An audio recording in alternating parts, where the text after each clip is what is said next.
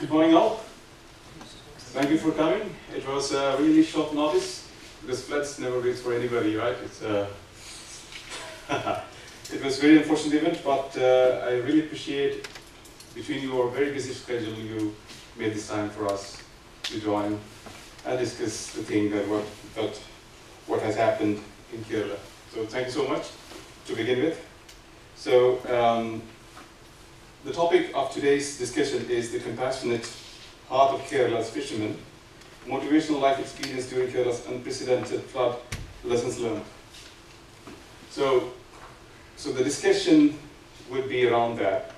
Uh, this is to showcase what has happened in Kerala and how people coped with that and what lessons we could okay, infer from it um, and how we could be prepared more in a better way in the future. So we have very eminent personalities with us uh, to serve as the panelists in the discussion. So to start with uh, Mr. Pyry Niemi, gentleman here. So he's senior member of Swedish Parliament, and we are especially uh, thankful to you to come today. Uh, Professor Swain, professor at uh, Peace and Conflict uh, Research Department, and he, he is the UNESCO chair for International Water Cooperation and the director of Research School of International Water Cooperation at Uppsala University. Then we have Professor Giuliano Di Baldassarre. So he's the director of Department of, no, he's the director of CNDS, Center for Natural Disaster Management. yes, right. And then uh, you are from the Department of Earth Sciences Program for Air, Water and Landscape Sciences, uh, Hydrology. Then we have our Mikael Johnson, Professor Michael Johnson, who is uh, head of our Department of Engineering Sciences. Uh, you don't need much more introduction to him because you know all. Uh, then we have uh, Professor Shi-Li Zhang, head of our division of solid electronics. Then we have Associate Professor Oommen Varghese. So he's from the polymer chemistry here from Ångström, and then Associate Professor Malin Göteman from Division of Electricity. Right. So um, just a brief overview of the agenda.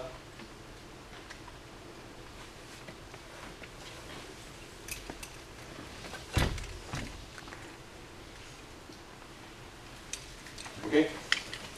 You might all have read the summary. I will not go through that, but this is our agenda. So the agenda is like this. So we will start with a short video where you can see in a summary what has happened in Kerala. And then uh, there would be introduction of panelists that in some way I have done that already, but uh, I could elaborate that as well. And then report on the event of natural calamity and its extent. So I will do a report where you could see the, the figures and facts about uh, the calamity, what was the gravity of this, this event. Then we will open the session for discussion to our panelists and then we will invite them to join here to start the discussions. And then we will have a short lunch break at 2 o'clock. Uh, we will order a sandwich and hopefully they would be on time. And then the session two would be opening the discussion to the Malayali diaspora. So Malayali diaspora is people from Kerala who are assembled here. So the panel could discuss with them. So there are some people who have been uh, like experienced uh, uh, this thing firsthand. So you could also discuss them like what was their experience and what they think about. And then it's also open to the general public from Ångström and uh, uh, outside Ångström.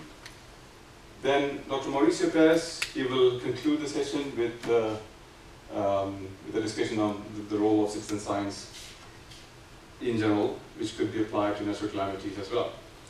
Okay, so we start with this video.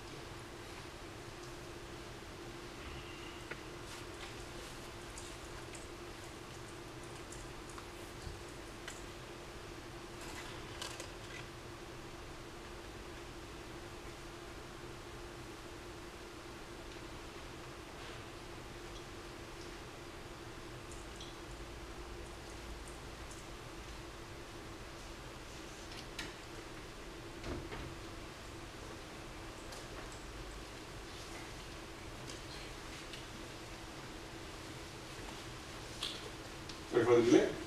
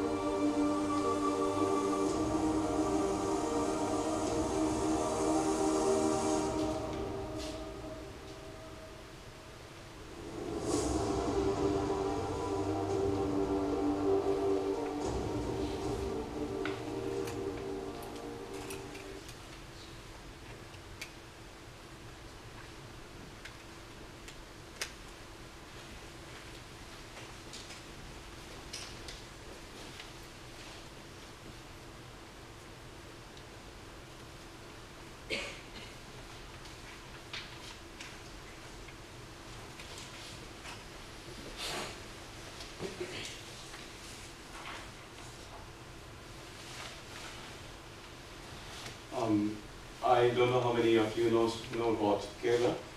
Kerala is uh, in uh, the country